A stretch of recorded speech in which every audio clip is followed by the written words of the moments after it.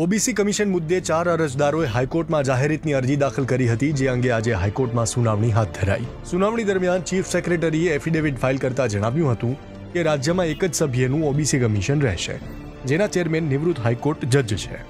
જ્યારે અરજદારે જણાવ્યું હતું કે નેશનલ કમિશનમાં પાંચ સભ્યો હોય છે, તેના આધારે જ રાજ્યમાં કમિશનની રચના થવી જોઈએ. ઉલ્લેખનીય છે કે આ અરજી વર્ષ બે હજાર અઢારથી ગુજરાત હાઈકોર્ટમાં પેન્ડિંગ છે. જ્યારે વર્ષ ઓગણીસો ત્રાણુંથી રાજ્યમાં એક જ સભ્યનું ઓબીસી કમિશન છે. હાઈકોર્ટે કહ્યું હતું કે એક સભ્યનું કમિશન હોઈ શકે નહીં. માત્ર એફિડેવિટની અંદર સરકારે કીધું તાણુંથી આટલા આટલા આટલા જજોની અમે નિમણૂક કરી હતી અને આ રીતે અમે કાર્યવાહી કરીએ છીએ. અને જે અમારું બે મેમ્બર નિમવાની જે વાત હતી, એ વાતને અમે પડતી મૂકીએ છીએ. અને હવે અમે એક મેમ્બરથી જ ઓબીસી કમિશન ચલાવવાનું નક્કી કર્યું છે. એવી આજે એફિડેવિટ.